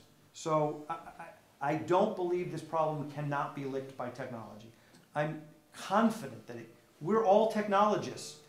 It doesn't make sense that the problem can't be solved by The technology. bad guys are too. Yeah. And they change, they change titles. You could have, and, y- you know, if you had like the original audio that was MP3ized two different ways, Mhm. the bits are gonna be completely different. You Mhm. know, I mean, so you're not gonna have some dumb Google computer looking at bits and saying, oh, that's your song, you know, and telling you about it. It's not gonna recognize, and if they, if they, what we call hashing and. uh, That's not exactly the true. If Shazam can recognize anything played over a speaker, the technology exists Right. to recognize the, Whenever the, I the file. to AES conventions, this is one of the hot topics in AES, is being able to look up music on the internet, being able to do, uh, like, recognition of the actual musical content, despite the way it's encoded, you know what I'm saying? I didn't think that that was a solved problem. Well, look at it this way. I- I've heard these arguments before, and I never really understand them completely when somebody says they changed the name of the file. Therefore, you're not going to be able If to they find change it. the name of the file, you might. This is, it. I'm like, I don't get that. If I disguise the name of the file, how's anybody else going to put in genie in a bottle and find the file? The When you've site now will changed tell the name you, of the file will, to something will different. inform your browser how to unhash the name. Okay, say that last part. If, if, if somebody else who's like, who wants to be Napster and wants to, you know, be the distributor of all this illicit music, and the names have all been hashed, so that they don't look, they look like garbage, uh, when, when you, but when you go to their site and say, all right, you download our little app, or it's a little uh, Java app or something like that, and it unhashes that for the kid or whoever's gonna do the pirating, then they'll get that name. Yeah, but that recognizable- technology is available to everybody, including the enforcers. My point is, if technology, turnaround cre- time. what? You're not, you There's gotta no download that app. That's the issue. Will, Will. not technology. If the technology exists to hash the title, the technology, the little applet is taken by the enforcer and used to dehash the title. Well, where is- I don't get this. gonna make it happen is this really gets spread out to other industries. We mentioned it earlier, it's starting to happen with movies, big budget films, it's gonna happen with books, it's gonna happen. Yeah, It's, it's if gonna it- happen if it with starts to everything. happen with enough industry, it's the music industry by itself, and audio engineers certainly don't have the clout to go to When Washington. big This has money, change. when big money Big gets money has hit, to get it's hit. hard, it's changes. But why can't we, in AES and people in our industry, just focus at an AES convention, maybe even the next one coming up in, in, I think in New York or wherever. Why can't we just sit down and say, here is the start of a plan that we could bring other portions of the industry into and start to, whoa, band together and start doing things as a artistic uh, engineering community. Because part of our what we do as engineers we're artists and, and the musicians are artists But, but what, what you're saying is band together and then the action that we're gonna take is what? there's got to be I'm not being insulting or sarcastic. no no, but there's got to be a way for a big company or Joe on the street Mm-hmm. whoever you know Joe is, or Mike Kelsey, his music's getting pirated, and he's what? What am I gonna do? My my songs are getting pirated. Well- you should be able to go to a place and inform them. My stuff is getting pirated. There's too Could many you please- bands that are pushing like, take my music. And- But But they're not doing it out of, out of their desire to, to give their music away. They're doing it because they don't have a choice, because who's gonna buy it anyway? Yeah, and, then- And I don't mean because their music's crappy, but I mean, because there's no channel. The but- channel but- doesn't exist but if anymore. there's, uh, but if there's an alternative for you to say, I wanna here, I'll give some of these songs away and get people interested. Can you do that on you know. Well, don't take my word as gospel, and I, and I didn't come in here with the, the- with the technological proof, because it really wasn't my point. I didn't mean to focus as long as I did on the piracy. But the technology has existed for more than a long time. Uh, for, I mean, for more than for a few years. Uh, there are companies that are in, whose sole purpose uh, is to track this and are employed by the labels and th- through the RIAA.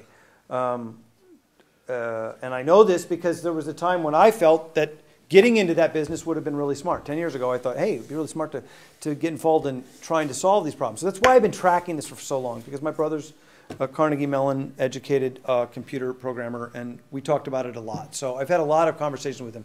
But at this point in time, I'm so confident that the technology isn't the issue.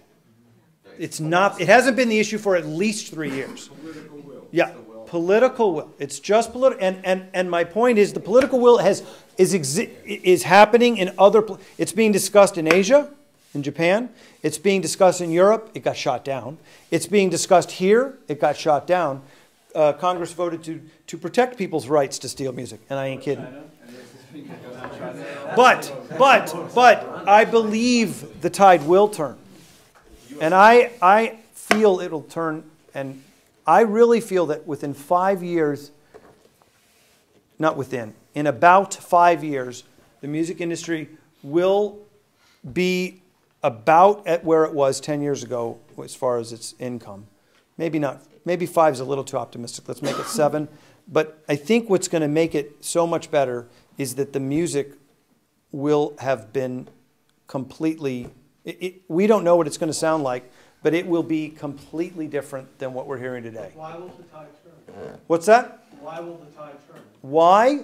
For all the reasons that I've said. In other words, the technology is already there, the laws are already there. The will is starting to change. The tide is starting to shift already. It- It's just, it's still bubbling under. So that's Well, my will- view. The will tends to be to, for people to want to send music for free. I mean, the will to, pr- I mean, we in this room have the will to want to protect the integrity of the music, but most of the kids out there, they want to send it. Let me, let me, let me, let me explain it in another way. So, an example, I- an analogy I often make uh, is this. Um, we don't steal from stores, most of us, do not shoplift from stores, not because we know it's illegal. That's not why we don't do it. Most of the people in this room either got caught or knew somebody that got caught or knew somebody that knew somebody that got caught when we were kids. We learned that lesson the hard way. In my case, it was my brother. Okay? In other words, you learn from being burned or Right. being scared about Right. being burned. How many people in this room know somebody that got in trouble for that? Oh, At some point in their life. How many in this people know somebody that knows somebody that knows somebody that got in trouble for piracy? Yeah. One person. One person. Okay? When the will comes into play and the enforcement begins, many people will know somebody that got their internet cut off. That's not getting thrown in jail. That's not, that's not, like I said, it's already stopped in France. It only took 12 months. It's going to take a long time for the money to get back around and back and, and, and bubble up and, and bubble down. But, you know, longer than one year. But piracy apparently, so apparently, so I've been told by multiple sources, is, is already gone in France or is not as rampant, let's say. It's not gone. Uh, I'm sure that there are paths to piracy in France. But it's not as rampant as it used to be. Um, by- by way, let me then finish answering the question and then, and, and then, and then, uh, so when more people know somebody that had their internet shut off, they didn't get sued for $200,000 or anything goofy like that, that seems way disproportionate and, and way like, what? These corporations are really idiots. Let's screw them further. Come on, steal their music, you know? Screw Britney Spears. That, that whole attitude. It'll change because it'll be like, crap, I don't want to lose my internet or, or whatever. Because it, it can directly affect you Yeah. very quickly, just the same as I'm not going to park on that street in Cambridge Right. because I don't want another one of their. I'm not going to speed because I just got a speeding ticket. Yeah. You know, that thing. I mean, it's, it will change people's view of this because right now, piracy feels like it's, first of all, it feels like it doesn't hurt anybody because we are allowing the public to believe that. We are not up in arms. We are up in arms when we get behind closed doors, but we as an industry, a broad music industry, are not up in arms. And, and when they know somebody that's got in trouble or they got in trouble, it's going to change people's view of this. And to have Britney, I'm done in one second, to have Britney Spears do, sorry to keep going back to Britney, do a PSA to, to, to, to discourage people from doing piracy, it was the dumbest move, or whoever else they used, that I could have ever imagined.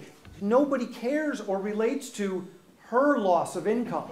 But if they would have done the ad differently, that was a little more touchy feely, human, that said, you know, steal from this faceless artist, don't give us Britney Spears, give us a faceless artist, and then show as the lights go up the 500 other people that are losing their income behind the face that you happen to know, people would relate to it more. And we're not, we, the industry, is not addressed, it's too late. That, ha- that should have happened five years ago.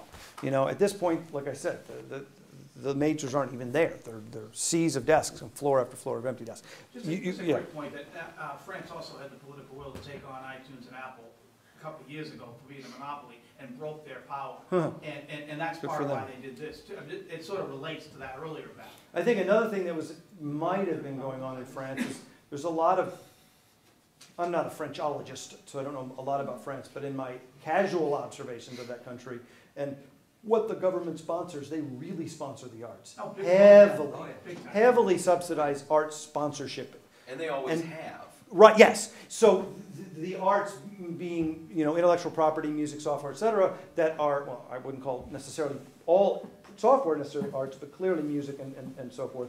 They're trying to protect that in part. Absolutely. I- I'd like to add some pessimism then to your optimism. Please. That's why, that's why we're having the conversation. I mean, the, the biggest concern far of music is young people, and it's been a long time since we've had uh, music education in the schools. Mm. That, that goes not just for the performance ability, but that also goes for what they listen to and what they Sure. enjoy listening to. And uh, I'm very pessimistic about what, what people are gonna be listening to in.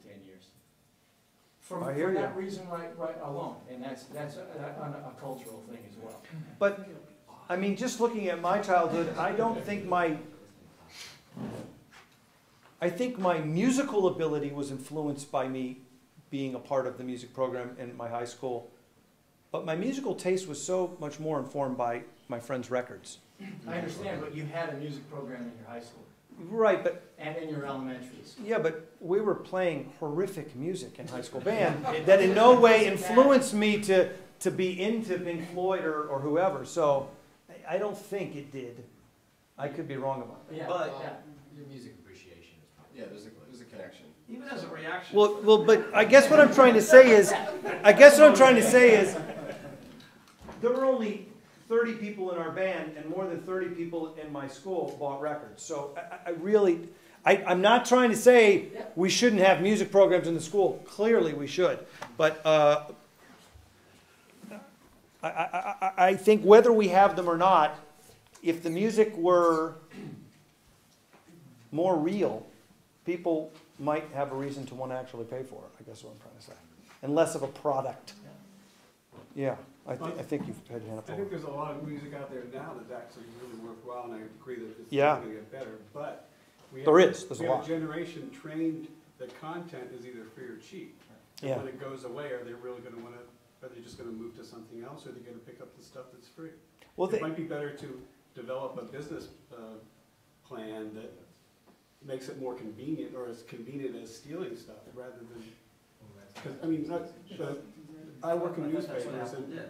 and nobody under thirty cares that they're gonna be gone in five years, it's just, oh, they even expect it. They don't really care, they don't wanna save it, they just, they figure, they'll just go somewhere else and get their stuff for free. They're just hmm. used to getting everything easy and free. Isn't that business plan the, ulti- like what I, the iTunes model, you know, it's just ninety-nine cents, I may as well buy it rather than steal it. Exactly. And- and- And I think that's, that's, that's where the, the record companies themselves have failed, because they were fighting this fight to, Yeah, to, to, fighting. to, you know, come down, look, looks like the heavy against people. Mhm, They yeah. Should have made, made it easier for people to get their stuff. which is what, which is, just to address his point, which is exactly what the, the, the visual media outlets are doing. I mean, I don't know how many people in this room, I, I, I really don't participate in piracy, but uh, I, I, I, I don't even have LimeWire on my dock. Um, um, but, but, but, and I, I've been buying from iTunes probably from the week it, the iTunes store existed. I'm almost certain the minute it was announced, I was like, wow. And I went there and immediately started buying. But the point I'm trying to make is that th- clearly the labels did not address this problem appropriately. Clearly, the visual media outlets seem to have uh, uh, learned the lesson. And the point I'm trying to make when I said I don't participate in piracy, though, is that I have gone to some of the visual sites that stream illegal content and it's horrifically bad video cameras on TV screens. It's like bad YouTube sometimes. Whereas you go to Hulu, where there's a monetization path, or you go to iTunes. I have purchased so many TV shows that I don't happen to have on my cable channel, whether it's Showtime or AMC or some network that I don't have, but I read about some cool new show or I've discovered something on Hulu, and I'm watching tons of television programs now online, legally online, with a monetization path. Somebody's making some money out of it, and the labels didn't realize the right path. The me- visual media people seem to, television essentially, and movies, but especially television, seem to have realized that, and they're now providing the outlet and providing such a better experience. It's actually better to watch it from their websites than it is almost to watch it on TV. If any of you have been going to the, the network websites and watching TV shows, it's, it's, it's so cool. That's, that's been the last few years because of the Yes. rise of broadband. and Yeah, absolutely. Computers to actually be able to deal with it. No, absolutely. So the music industry's been hampered by the, you know, it's been small files you can pass around thing, and if we can get to better quality that we can somehow work, and, you know, that, that would help too. It's, Oh, Charles, sorry. I think there's a, to talk to your silver lining part, uh, there's, there's one example out there that I really, really like a lot. One of my favorite labels is a label called Yep Roc, and they have a lot of really good rootsy artists, like John Doe and Mercedes, uh, a surf rock band called Los Straitjackets. They have a fantastic business model. Uh, if you subscribe to their newsletter, you get the the alert, you get a pre-release al- alert, You order uh, the vinyl, I'm a vinyl fanatic, order the vinyl, pre-release, with, two weeks before the release comes out, you get an email. Thank you for the pre-release, here's your high-res digital download, Hmm. available in your stash. You know, Right. you know, Download that now, enjoy it. and- Yep. Yep Roc, Yep Rocket and yeproc.com. yeah, Yep Roc. Cool. Excellent business model. Yeah, It's still like, um, you know, uh, indie artist, uh, it's basically, you know, you know, play to, to, to pay, you know, like. Right, right, right. Because a lot of these guys, you know, they, uh, like Los Straitjackets, they just tour their fucking asses off all Right. around the world, and that's how they are able to, you know, make their records and stuff like that. But they have a distribution channel, uh, a a positively marketed Right. distribution channel. That's very cool. Um, Yep Roc. two, two little holes I wanna poke in your argument. Please do. I, I like the idea that, that the pendulum will swing back, I think it's true. I'm not sure exactly how. But you talked about the cheap, the, the, the good music being out there. Look at the economics of publishing a classical music album. I mean, that, that, just, that argument doesn't work. We started this whole content is free thing with ad-supported radio and television. Back in the sixties, all the music I wanted was free. All I had to do was turn on the radio. Mhm. Uh, it wasn't even that much ads. But it wasn't free. Well, no, if I wanted to own. There was a the radio- monetization. No, no, no, no, no. It was monetized. Well, right, but the point. You had to pay a price, and the price was you had to listen to the commercial. Renting your brain. But I could turn my brain off. You could, but are you trying to tell me there's not a single product you've ever purchased from advertising? Oh, I purchased stuff from advertising. Yeah, so you didn't turn your brain off, and advertising works, but we, that's, we know advertising works. The point is, it wasn't free, and there was monetization, But the which is what the visual TV people are doing. The monetization thing isn't obvious. I mean, you have TiVo now, we can skip the ads, all that stuff. I mean, but it came out of the monetization being so indirect that people stopped being aware of it. I mean, yeah, you buy stuff from ads, but you don't really think about it. An ad comes on for something you don't want, you tune out. An ad comes on for something that maybe you Doesn't matter if you tune out. Yeah. But It I- doesn't work that way. I, I think, I think it's a, It doesn't work that way. I think, I think it was an understood contract between the consumer and the creator that if you wanted the free music, you had to at least address the commercial, whatever that means. Changing the channel, ignoring it, turning off your radio, whatever, but you had to do something about it. You couldn't magically make the commercial disappear. But the ads are where the rage against the machine started. Really? Really? Oh, yeah. Absolutely. Definitely. Uh, Can you walk me through that one? I just don't get it at all. It's, it's actually funny because I would not listen to the radio. I would prefer to go out and buy the CD or download the song from Apple because I don't want to listen to that crap. No, but wait, no, no, no. You got to walk me through where the rage in the machine started, which means you're going back to the '70s, I guess, or something. So, No, no, no, so walk walk me through the Okay. walk me through the pre-rage and oh now there's commercials. I'm mad at stage. I don't get it. Well, you have to go back to nineteen twenty-seven or something. Yeah, the, the point is that, yes, it's. The part of- youth in 25 were very complacent, right? Or no? It's, it's part, it is That whole generation, Thanks. Our grandparents. It's, it's part of the cost. It's part of the contract.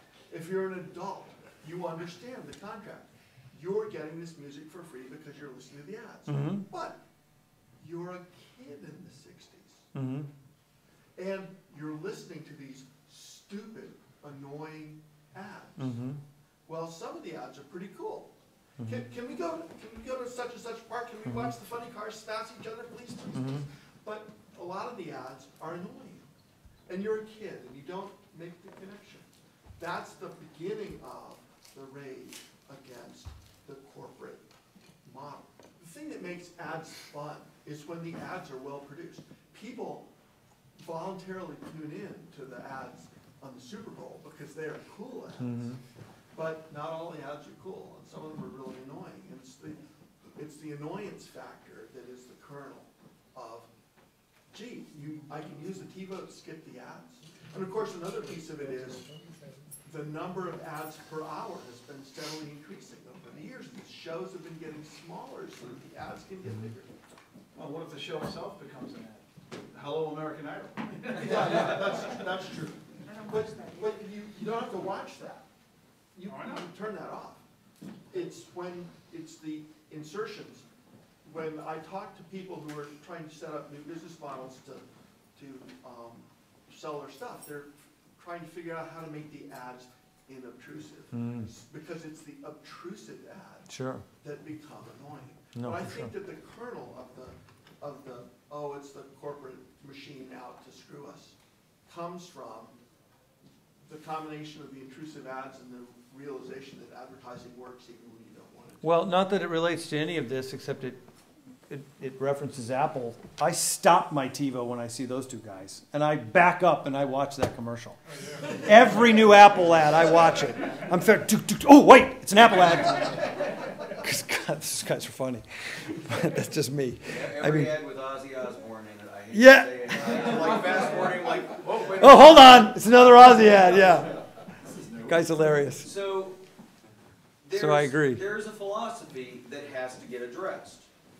So again, how do we, in our industry, do something? And the only way that we do it is by getting together, like we're doing here, and talking.